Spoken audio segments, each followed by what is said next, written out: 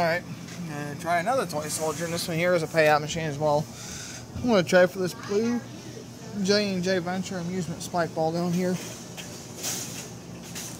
I was gonna go for that Stay Puft back there, but he's not in a good spot. He need to be laying flat in this machine. Claw's not even strong enough to really pick it up by the head. Yeah, it's kind of still kind of stuck in there, as you can tell. So I'm going for that blue ball. One dollar per play on this one.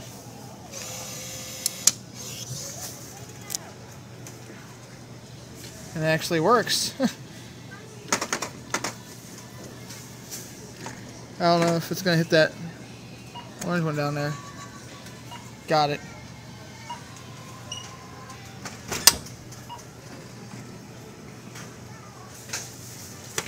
Really?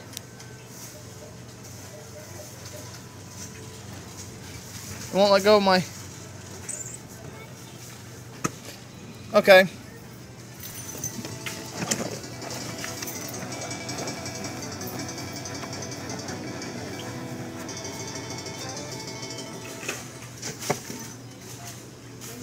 Thanks for watching.